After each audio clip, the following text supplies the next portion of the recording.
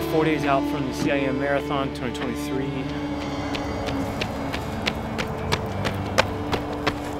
Uh, which will be my third marathon. I ran it uh, last December.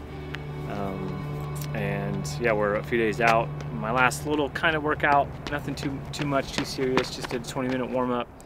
Um, changed shoes. Now I'm about to do two miles straight, which is going to be around 543, 545, 550 at the slowest. And then I'll do about a three to five minute cool down, easy jog, and then I'll do a fast half mile, fast 800 meters.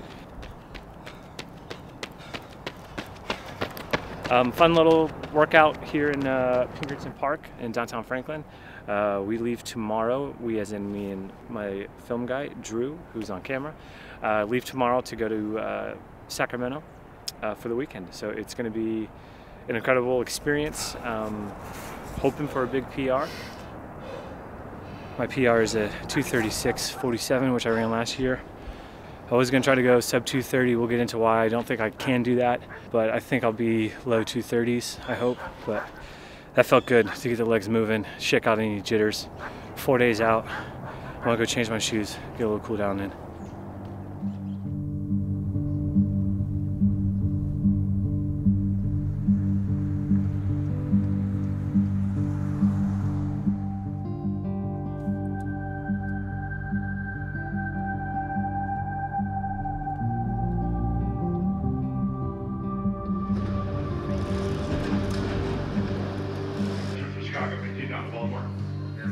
Question about carry-on policy are limited to one carry-on per customer.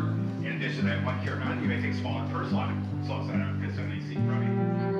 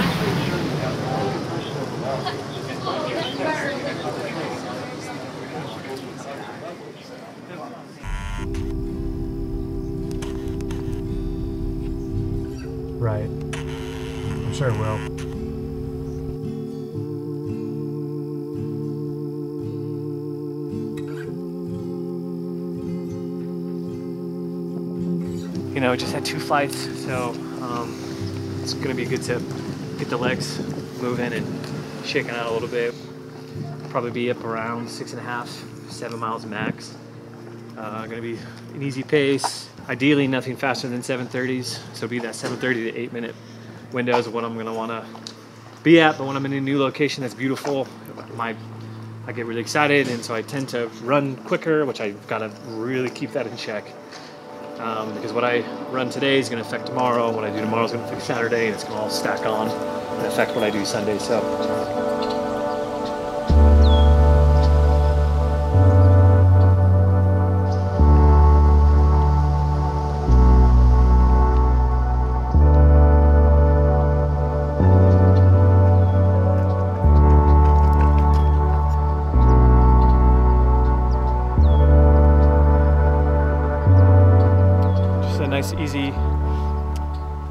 50 minutes. Was about six and a half miles at 7:45 average pace.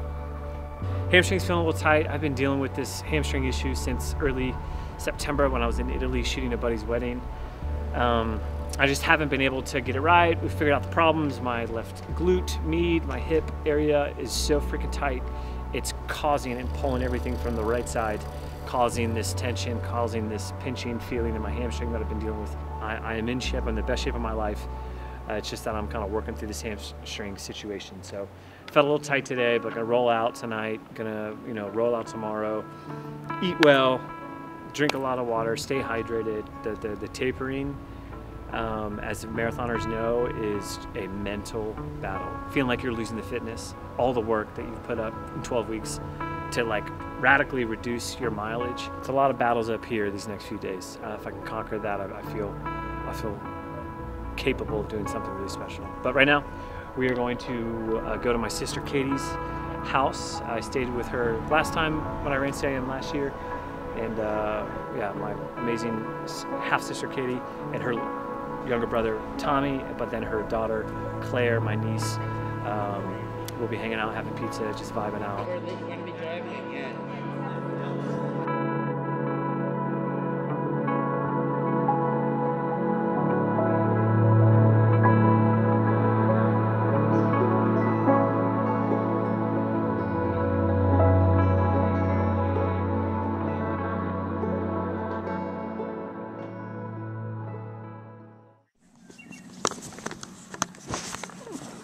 It's December 1st, 8:24 a.m. Woke up, it was pretty hot in here, so I opened that window there. Cats were jumping in. It was a whole episode last night. But a little congested on my deviated septum side um, today, so that's just because it was cold out kind of situation. Um, I have a little bit of a headache, which is weird. So after saying goodbye to the family, to the sister and niece, uh, we made our way towards Sacramento. Had a little stop for breakfast at Noah's Bagel, and uh, got a delicious bagel sandwich. Uh, these two to three days out before the race, uh, to carb load is such an important piece of the marathon build and the marathon process. Uh, that's going to be key when it comes to race day. Uh, and you're exerting yourself, and more specifically to top off your glycogen levels. We made our way to Sacramento, uh, which was a lovely drive. It was very beautiful. The weather was incredible.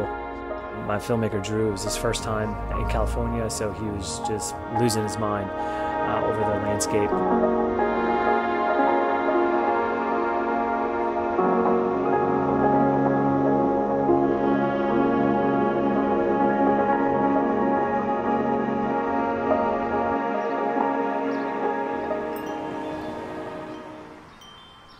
Once we got into town, we got to meet up with my good friend uh, Eric Floberg, who he and his team filmed the documentary Moving Still about my life and my life story. And he also was running uh, CIM, so it was cool to grab a bite to eat and kind of talk. So this is a place where we ate lunch multiple times last year, so to visit again and to get in the right headspace was uh, just really, really um, beautiful part of this weekend for me. It wasn't, it wasn't right. Let's go see the bandit film.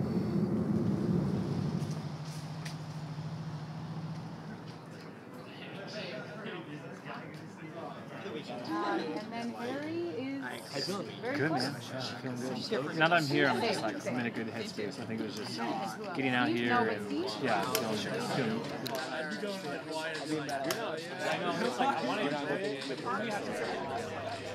That's yeah, good old creative way. You know, having ran growing up and then getting into photography, so to come back to my first love in such a special, organic way. It's been a really infusion. Oh my god, yeah. it's like it's a dream. Yo, I'll Dude, see you rest up, but cover well, and yeah, let it fly. Yeah, I'll see you. I'll see you later. Yep. Ich stehe davor.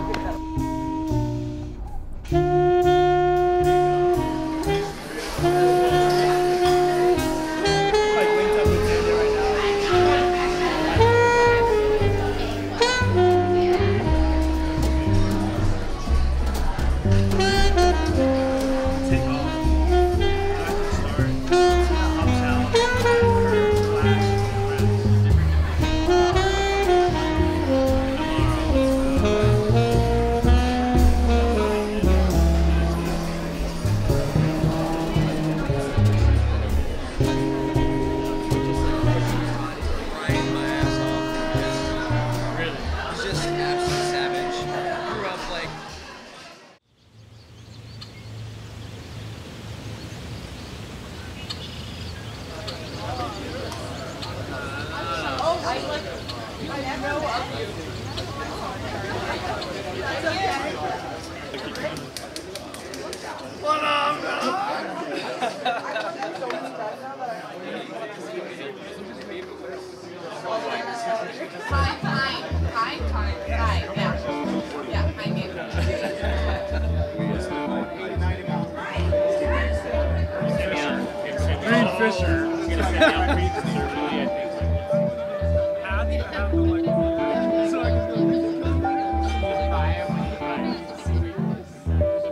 Okay,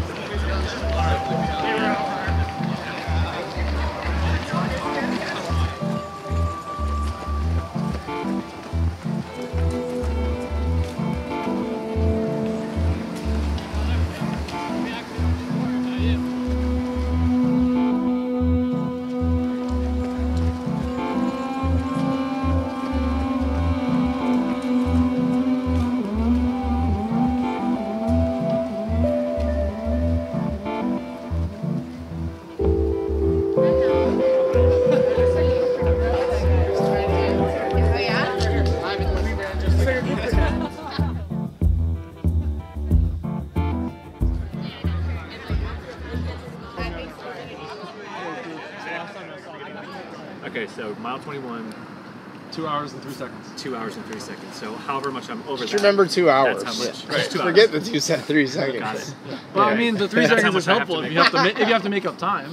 Yeah. All right, boys. We were just saying it's not that Yeah, yeah. Nice to meet you, dude. Dude, you too. See you out there. Hopefully, I'll we see you like guys in the morning. Yeah, I'll be in watch the. that, Look at like, You'll see the gas station. I'll be underneath. And it was just too long. I was just like, this is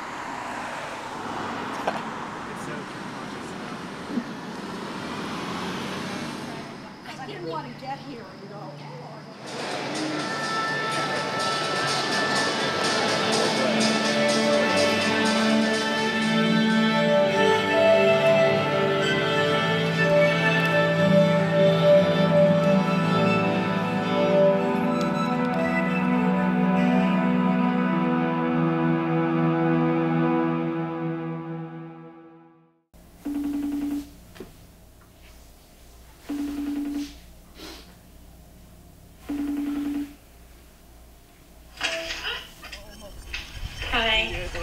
哎。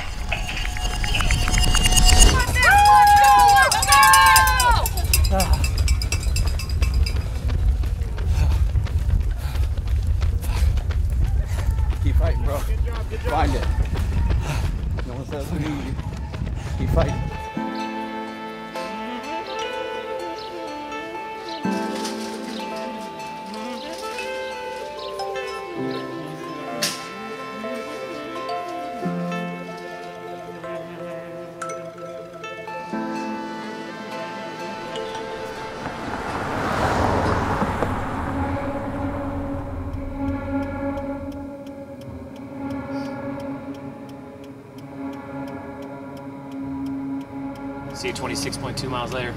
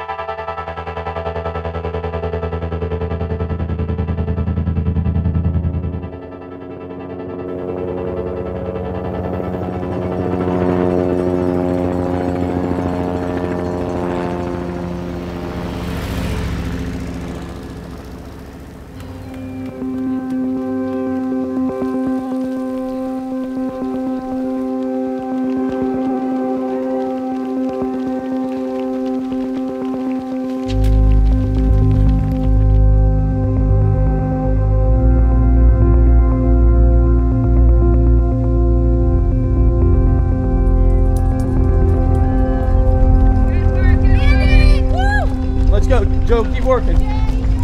Looking good, baby. Oh, I'm in it right now, dude. I'm not feeling good. Not feeling good, boys. Hamstring flaccid.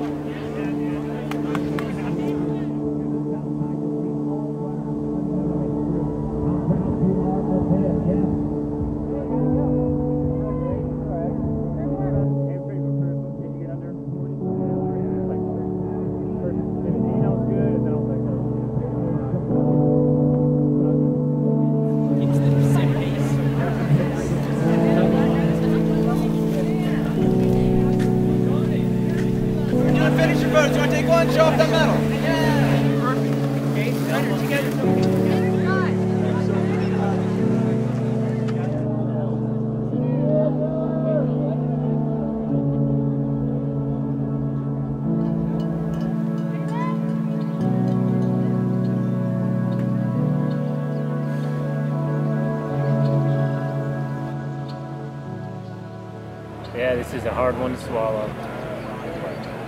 I hit my half marathon split perfect. As soon as about mile 15 hit, I knew I was in. I was in for a wild ride, and um, that's the first time in my marathon career that I've had that that I've hit the wall.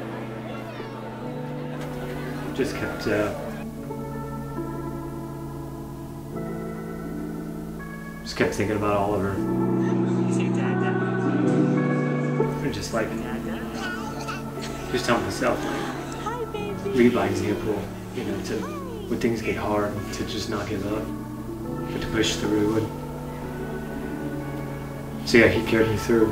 And you were just saying the other day how you want to teach him to finish whatever he starts. And you, Yeah, I wish I knew. I wish I knew what was coming. My God, I didn't know it was expected to be, you know, this race. But yeah, it's um. All right, text me. Okay. Proud of you. Thank you, babe. Love you.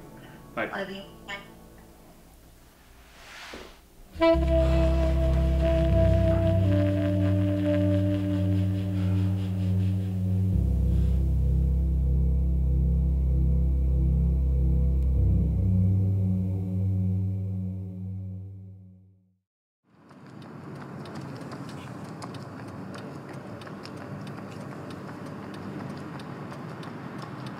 Was in a moment of of struggle, a moment of pain, a moment of going through that amount of discomfort from mile 16 to 22. And I'm very grateful for that CIM experience because I learned so much about racing, about strategy, about pacing, about listening to my body.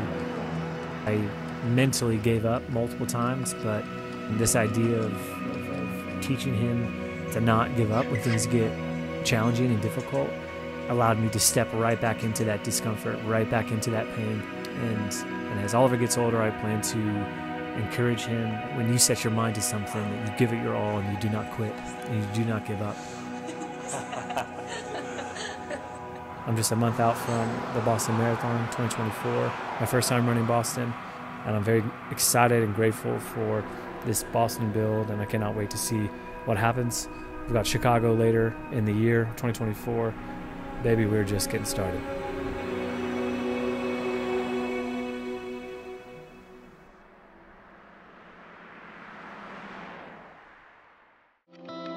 While this video stands out from the rest on my channel, one element I insisted on keeping consistent was the music. Fortunately, I switched to MusicBed, so I've been able to rely on their extensive collection of music to help fuel my creative process. Lately, I've made it a habit to bring my headphones on my easy runs, allowing me to explore MusicBed's curated playlist. It's become a therapeutic routine for me. MusicBed offers the largest curated catalog of music for films, movies, and advertising, providing a range and depth that I've only recently come to appreciate. Even the documentary about my story, Moving Still, crafted by my friends from the Creative Club in Chicago, exclusively featured songs from MusicBed's diverse catalog. Right now, MusicBed is offering a 14 day free trial so you can switch and see the difference yourself. Switch to MusicBed today with the link in my description. Thank you, MusicBed, for making this video possible.